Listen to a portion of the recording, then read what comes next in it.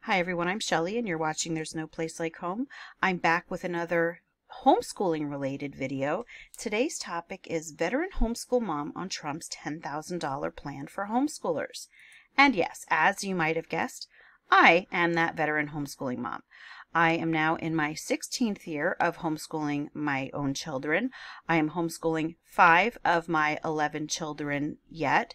And so let's just say that I have some experience when it comes to this. Now, Trump's $10,000 tax write off plan for homeschoolers is a huge talk in the homeschooling community right now. And Places like Not the Bee have been making some sweeping generalizations on how they think homeschooling families are going to react to this. But I just wanted to share with you my own actual thoughts on this because it's something that a lot of newer homeschooling families don't think about when they hear that they are going to receive money or at least tax write-offs for for their children's education because at first glance it, it only seems fair right because we are paying taxes. Those taxes are going to the public schools. Our children are not utilizing the public school. So it would seem to be common sense that we should be able to use our tax money for our own children's education. But what I and many, many other veteran homeschool moms are saying is that that tax money that we are paying, as much as we would rather not pay it, it is a small price to pay to keep the government out of our homeschools as much as possible. I homeschool in Pennsylvania. It is one of the most highly regulated states in the country. So I already have more hoops to jump through than people in most other states. There are other states out there though with no homeschooling regulations or low homeschooling regulations, and I guarantee you that something like this is going to change that. So I just wanted to share two articles with you that will help me to express my thoughts on this and one of them is just kind of a blurb from Not the Bee. And again, yeah, they, they made a pretty sweeping generalization about how they think homeschooling families will react. And I'm just going to spoil it for you right away. Spoiler alert, they're wrong. But anyway, let's read the title. Trump promises yearly $10,000 tax write off for homeschooling families. That's $10,000 per child. Well, it looks like Donald Trump just won the homeschooling vote. Yeah, not so fast. In this message, the Don praises courageous parents who homeschool their children and says he will finally give them back the money they are taxed to pay for the education of other people's children with a $10,000 per child tax write off for homeschoolers. And again, I did touch on that. That is something that a lot of homeschooling families, we, we gripe about it a bit, that we are paying taxes that go straight to the public schools. But again, small price to pay to keep the government out of our homeschool. Let's continue on. So here's a tweet, and it says Trump has pledged to parents who homeschool their kids that he will eliminate taxes on up to $10,000 a year per child on all costs associated with their children's education. So a lot of people are making this sound like it's an actual $10,000 per child that each family is going to get. That's not what it is. It is a $10,000 tax write-off or up to $10,000 tax write-off. But for example, if you have six children that you're homeschooling, I don't, his plan is not to just hand you $60,000. Okay. But that, that doesn't mean that I agree with the plan still. And then it goes on to say, yes, that sound you just heard was every 15 passenger homeschool van in the country peeling out and heading to the polls. No, I will just say, no, that's that's not the case because most uh, homeschooling families that I know do not agree with this plan. Uh, and then he says, I will immediately fight to allow homeschool parents the same incredible benefit $10,000 a year per child, completely tax free to spend on costs associated with homeschool education.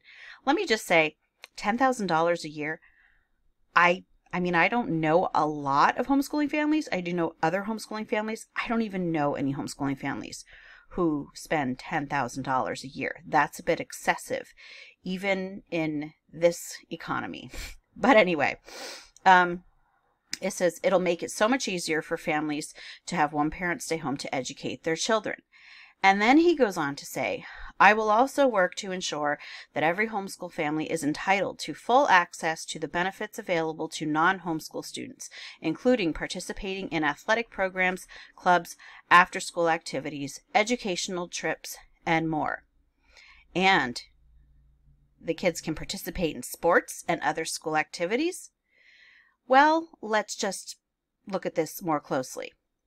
Most states already allow homeschooling families to participate in the school's sports programs and after school activities and other extracurriculars. So this really wouldn't be anything new. And what I also have to say as a veteran homeschooling mom, I don't know of anyone, I'm not saying that no one does, but out of the homeschooling families that I know, I don't know anyone who even takes the school up on any of these offers because the whole idea of homeschooling is keeping our children away from that setting.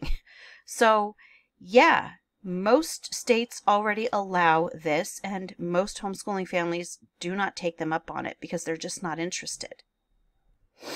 So, as I was browsing about all of this, I found this article that I'm going to share a little bit with you because it articulates very well how I feel about this.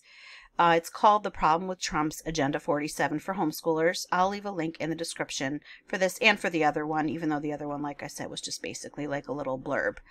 But let me just read an excerpt of this. Though Trump's Agenda 47 makes him seem like a champion of homeschoolers, it's another bait and switch, laying the groundwork for total government oversight, and has potential for demanding arcane metrics from the same establishment from which homeschoolers are escaping. I just want to interject here that me disagreeing with this is not an anti Trump sort of thing. I would disagree with this no matter who was offering this. I don't care who would offer it. I would disagree every single time. So I think that I, I really need to make that very, very clear. One of the upsides to homeschooling, among the many, is that it allows parents to take charge of their children's education, free from government intervention and bureaucratic red tape. This perspective is rooted in the principles of individual liberty and limited government. Trump pledged to allow homeschool parents to use 529 education savings accounts to contribute up to $10,000 a year per child completely tax free in order to spend on costs associated with homeschool education. What are the stipulations behind taking this money from the government? So, in this one, it makes it sound like it is indeed money that is going to be handed out. Either way, I don't want it, and I most of the homeschooling families that I know think this is a really bad idea. Anyway, well, of course, he doesn't say. So let's go back and see what that question was. What are the stipulations behind taking this money? Well, of course, he doesn't say. Am I wrong to be wary? Of course not. It wasn't long ago that a simple 15 days to slow the spread turned into the largest government overreach and set of tyrannical orders that the United States has ever seen. No matter how tasty the dangling carrot, it always comes at a price. Parents, not the state, have the primary responsibility for their children's education and upbringing. Homeschooling enables parents to make decisions about their children's education without interference from government agencies or public schools. As soon as the bait has been taken, the switch begins. What will that switch entail? That's anyone's guess, but the looming consideration that the requirements of standardized testing, curriculum mandates, and other forms of government oversight are around the corner isn't too far fetched. I'm just going to add in here that what I know has happened in some other states that, that offer tax credits for homeschooling is they will start trying to restrict the the homeschooling of even people who do not take these credits. Um, I also can foresee them, again, mandating curriculum, you know, requiring that certain curriculum is used in these homeschools. And like, like it says here, requiring standardized testing, which again, unfortunately, in my state, we still have to do it in third, fifth, and eighth grade. But standardized testing, other forms of bureaucratic red tape, all things that homeschooling families, most homeschooling families right now, do not have to deal with.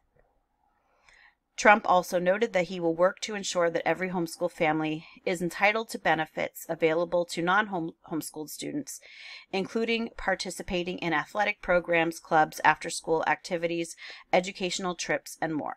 In most areas, these are already available to homeschoolers, which is exactly what I said, though many happily decline as the enrichment op- opportunities for those who homeschool are incredibly varied and enriching as is.